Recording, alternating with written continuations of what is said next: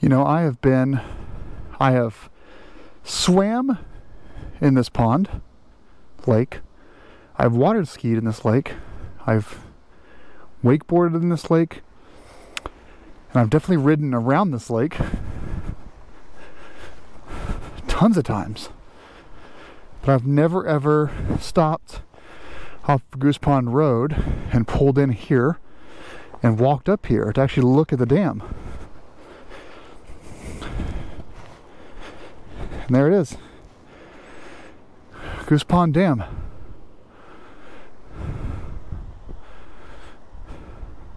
Feeding a river that goes into my lake. Pretty cool. I have some news. Let's um let's go on the bike. Uh, Gould Road. I've actually never been down this road before, but it does connect to the road that I want to get on to go to a little fun, um, little fun Class 6 road that I haven't been on in a while. Last time I was on this road, well, the first time on this road, I crashed my new uh, GS. Is this it? Oh, this is it. I totally missed it. See, I've never even noticed that was there. Oh, it's muddy. It's very muddy. It's also wet leaf season here. It's rained for a few days and it's wet leaf season. Um, it's a great clip of that actually a while back. It's, you know, talking 2016, 2017. Uh, I crashed right in front of a bunch of hikers, Dartmouth hikers. Um, and then the last time I was on it was uh, Dirt Days. I was uh, leading a group uh, on a on a ride. I was a guide for one of the rides. But I, have never noticed this road was here. I passed it 50, 60 times maybe.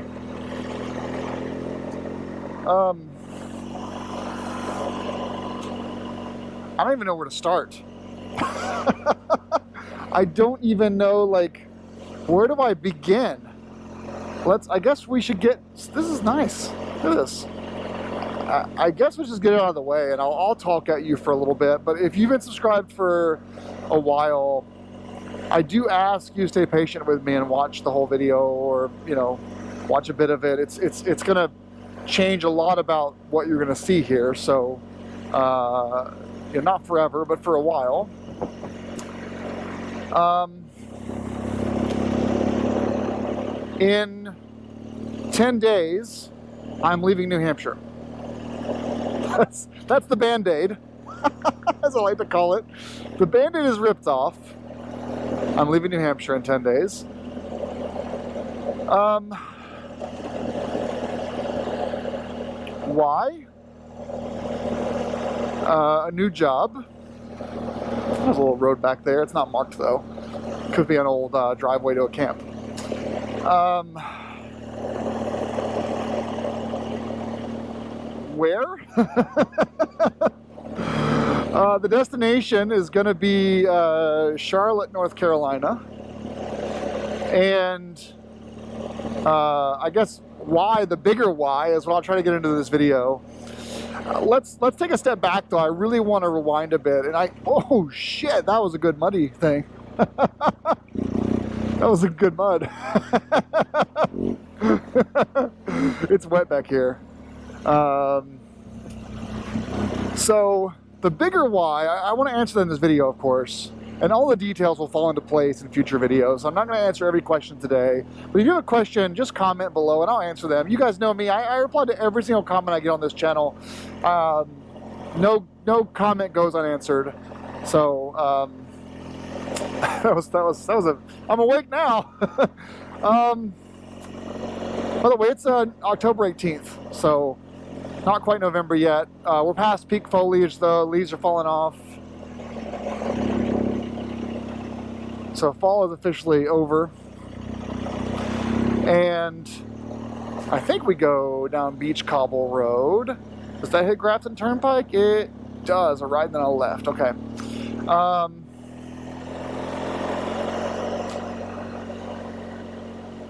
let's go back a bit, and I'm going to actually try to link to some videos uh, in the uh, in the description here or in the comments so you can watch later. But um, Yeah, it, it rained two inches the past 24 hours, so it's a little slick out. Um, I was born in, uh, you're like, oh God. I was born in 1986, I'm 36 years old, and uh, born in Florida. I've lived all over Florida. Uh, we moved about once every year when I was a kid. And then, that's a big place. Looks brand new. Uh, yeah, brand new.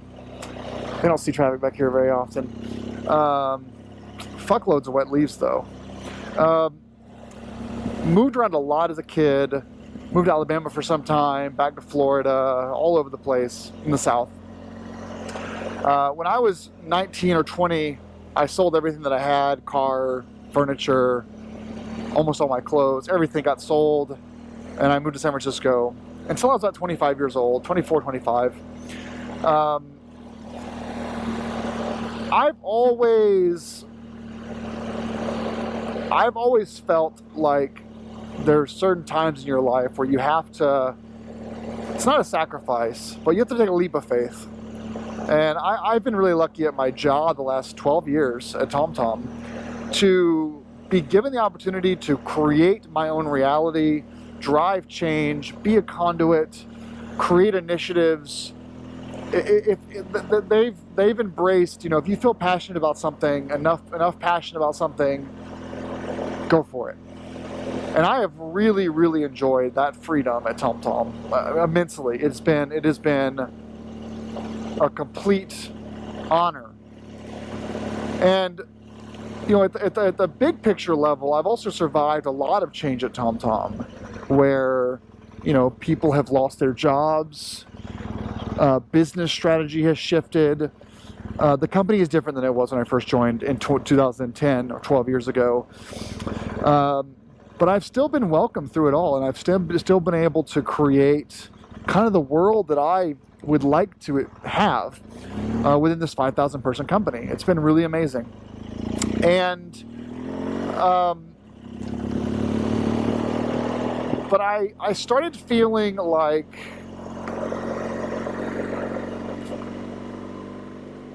I was so I was being challenged, and it was in 2010 when I was 24, almost 25, that I flew from San Francisco to New Hampshire and started the job at TomTom. Um, but I was feeling at this job where I wanted to push myself to the next level.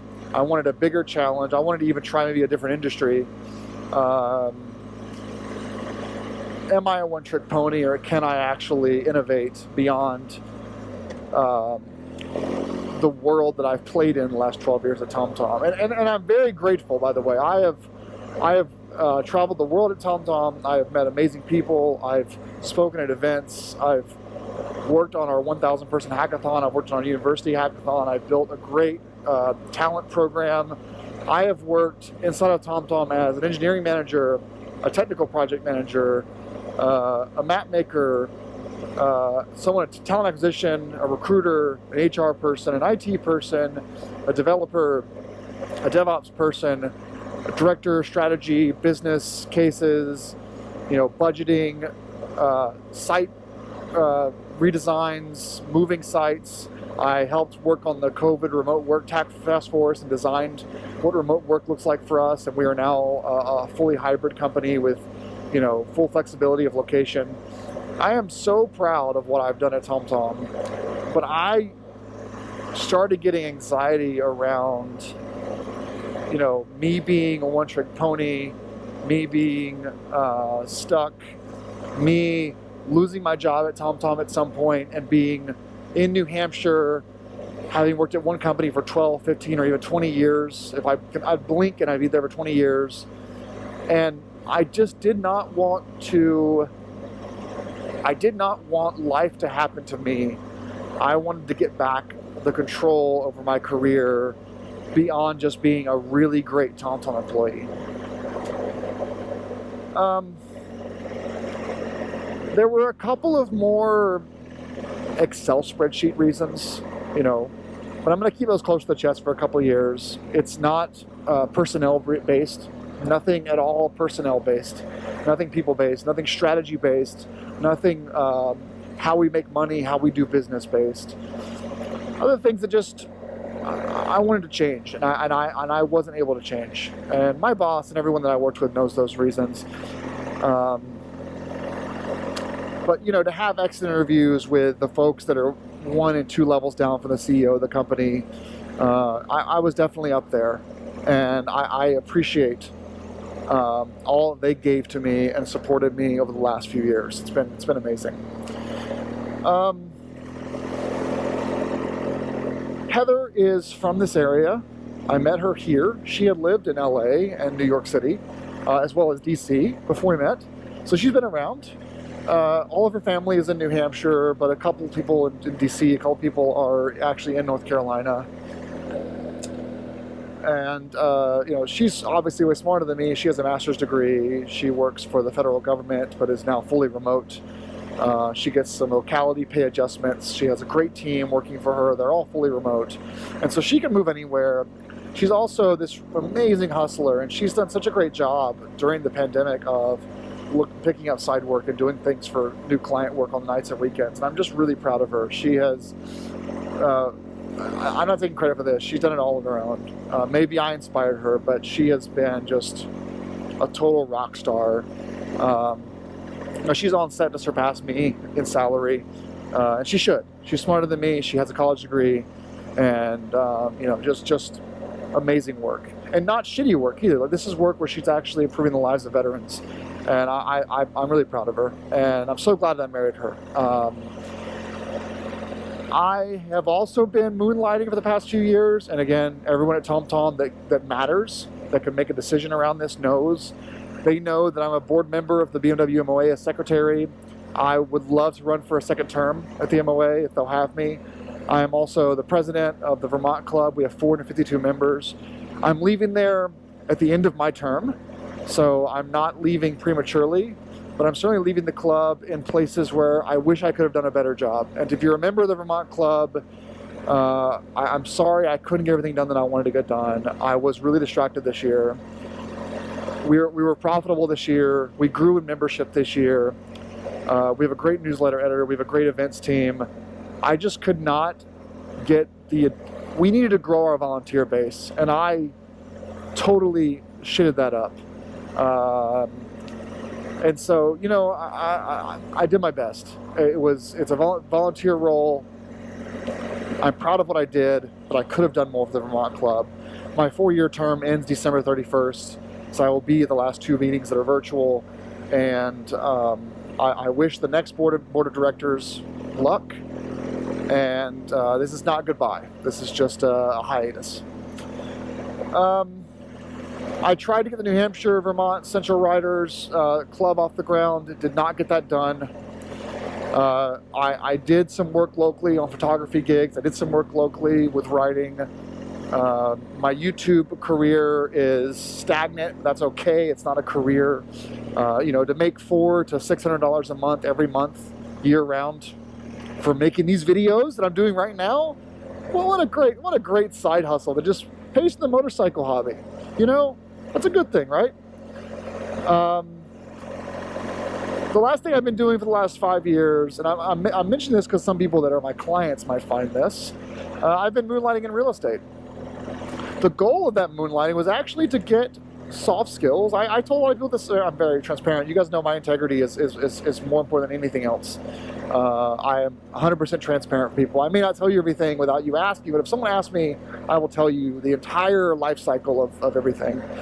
Um, I told some of my early clients in the real estate management, property management business that uh, I'm learning to be a great landlord and property investment investor uh, with your investment. You know, you put the money up and I manage it. I'll make mistakes, but I'll get better. And that's why I did that for five years. Um, there are real estate property management clients that believe that was my only job. I, I would dare I say all but maybe one of them believes this is my only job. That I don't, that I didn't work at Apple, that I didn't start two companies in the Bay Area, that I didn't write a book about Twitter, that with Jack Dorsey writing the foreword to the book, I didn't speak at, South by Southwest and Macworld and CES, and I didn't, you know, uh, be an engineering manager at TomTom for 12 years and all this other great stuff that I've done in my career.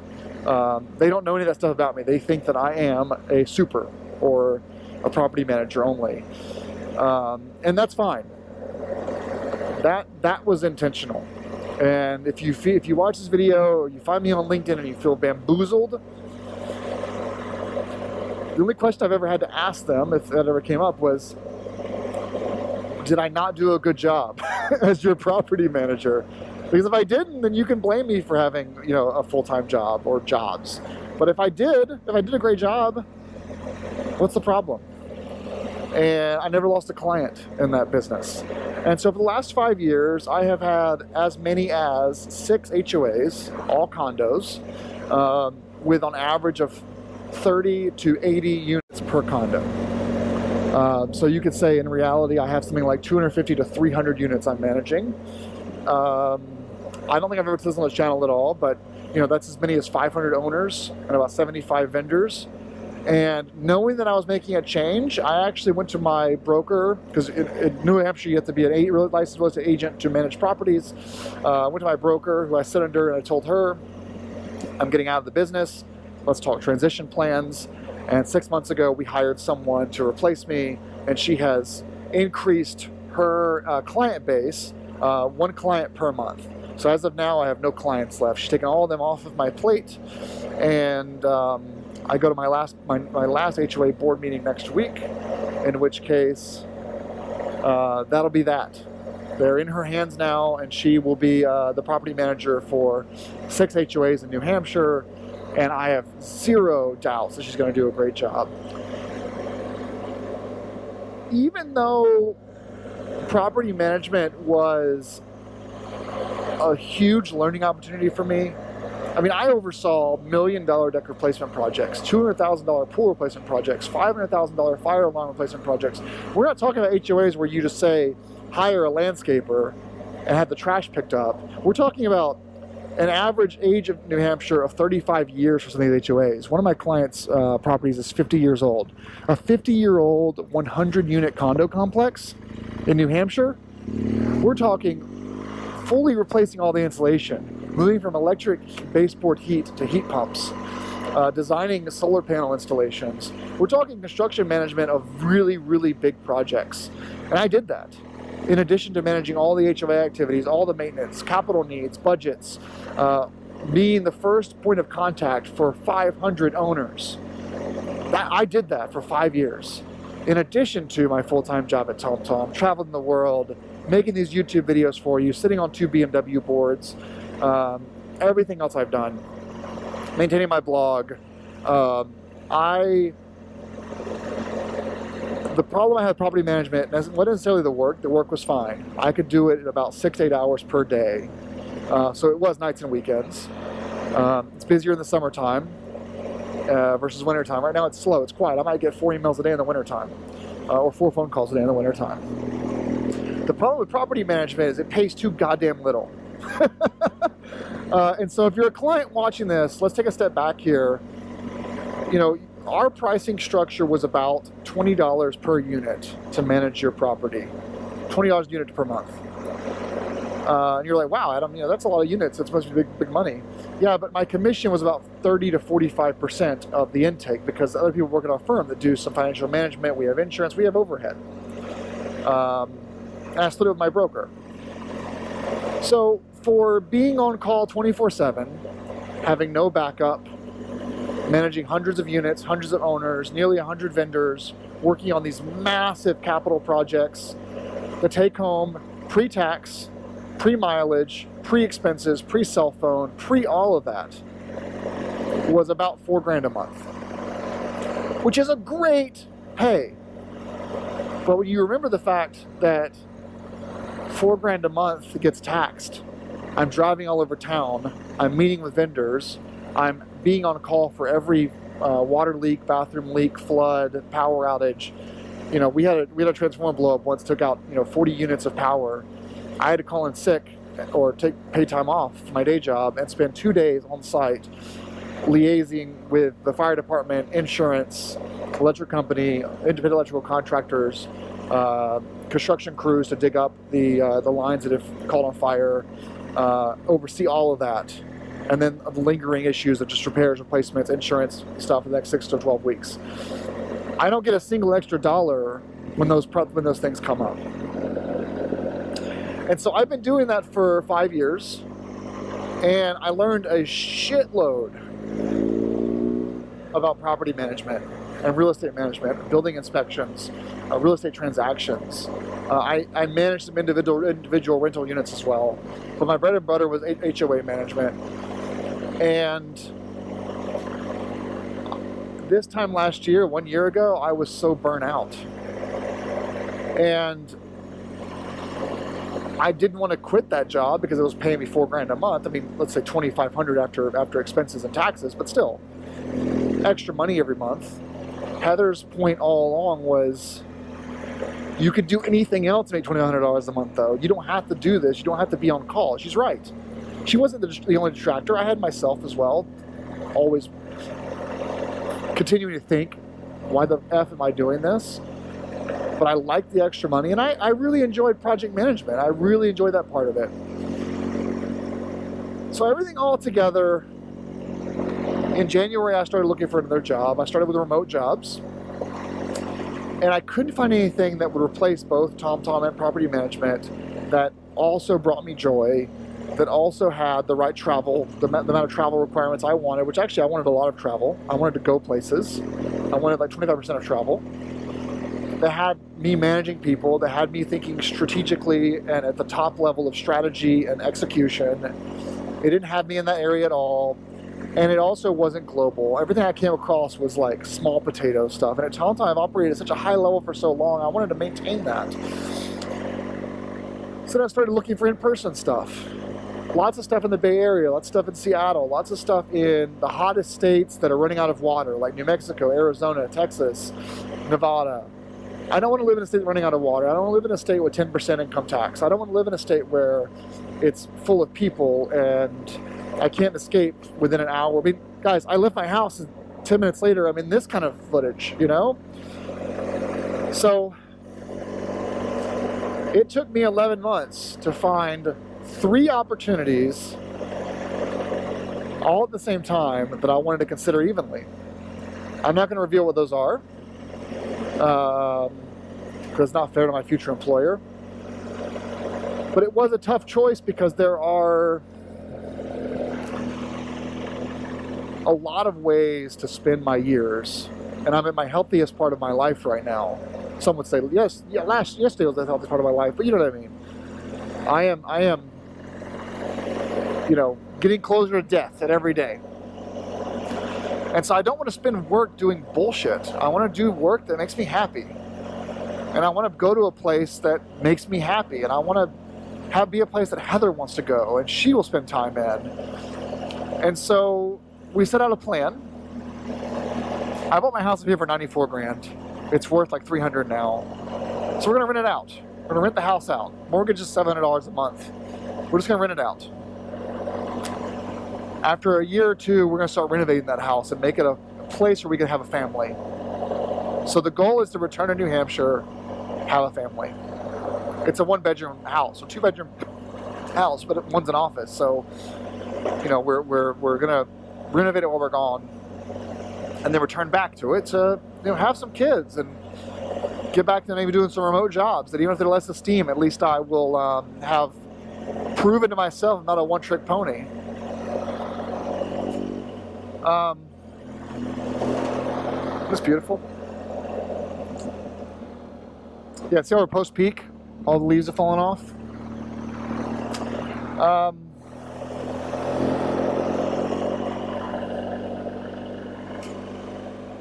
So we're going to, uh, we had previously scheduled a, a, trip to San Francisco to go to Halloween. We went last year for Halloween to SF. She had a great time. So we booked it with points. It's costing us nothing to go back to SF and have a Halloween celebration there. Uh, she's going to be uh, Yoshi, I'm going to be Princess Peach. It's going to be a great time. Um,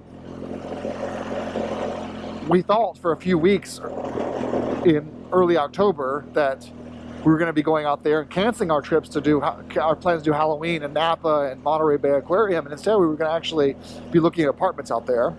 That's no longer on the table, which I'm, I'm okay with. I'm happy about that. I, I, I think that I, I, lived in San Francisco, and I'm not in a rush to get back.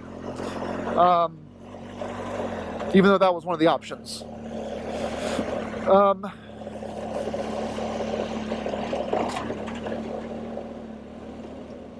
when we get back on November the 2nd, we're going to pick up a, a 20 foot truck. Uh, we're going to load up my bikes in the back of the Ram and another bike in the back of our Tiguan.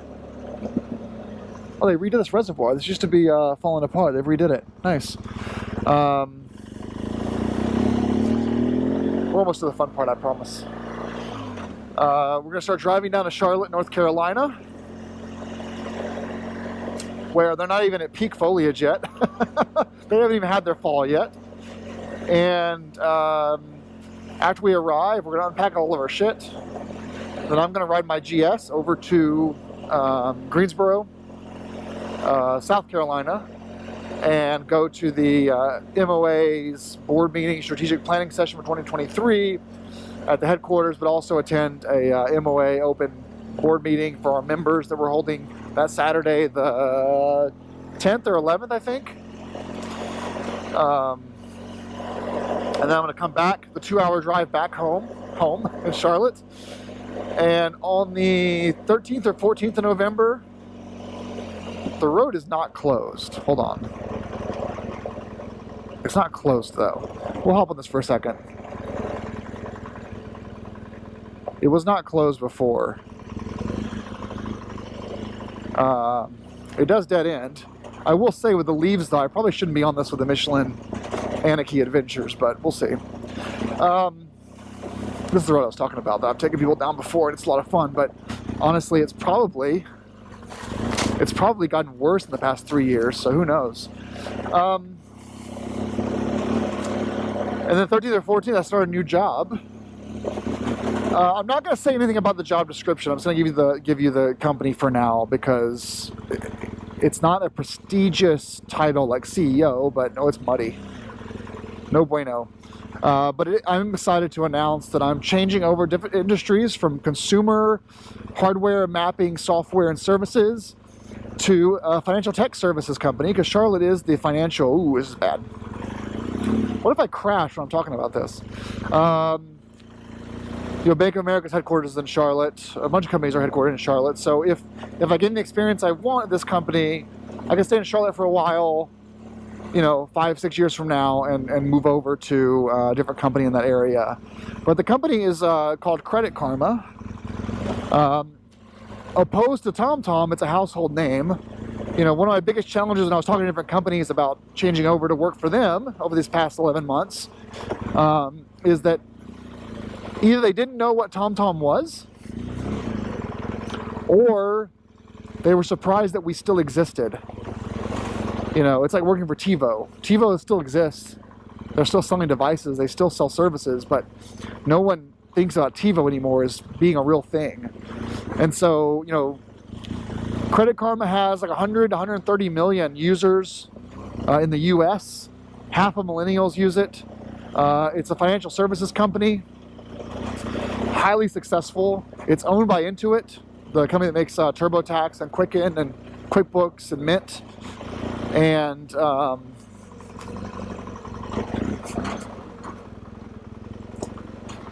that's where I'm going next. Credit Karma. I'm almost certain that every single one of you watching this video has heard of it, as opposed to TomTom, where only motorcycles list and people in Europe know who it is. Um, and Credit Karma is going to be a new challenge. I will be doing a lot of the similar stuff I've been doing at TomTom. Uh, strategy, big picture thinking, but all of the work is going to be in the in a group that is responsible for customer satisfaction. No, not tech support, but design, implementation, user experience, service uh, experience, um, yes, support, uh, content, ticketing, uh, you know, workflow of users as they go through different product services. You know, all of that is under one group whose job is to keep customers engaged, happy, and help them find the answers to the questions that they have. Uh, and that they don't, you know, abandon the process because they couldn't find the right button or didn't get the answer they wanted. And I'll be working with that team. Um, sure, it's more money. Sure, it's a different place. Uh, sure, it's scary. um, I was, after I got over the fact that I wasn't able to find something remote that I wanted, I realized that I actually kind of miss having an in-person experience with people in an office. And so, you know, for me, moving to Charlotte with a lower cost of living than New Hampshire, yes, a lower cost of living. Rent there is 1400 a month instead of 3000 a month here. Um, less heating costs, far less miles on my car because my commute is five miles to the office, cheaper gas prices, cheaper propane prices, uh, lower, lower, um, everything except for tax. Sales and income tax are going up because I live in a tax-free state. But, you know, other than that, it's, it's going to be an experience. I'll be two hours from the MOA headquarters, which is awesome. Um, and I'll be near the Blue Ridge Parkway, two hours from Asheville, two hours, from, half hours from Tail of the Dragon. Um, yeah,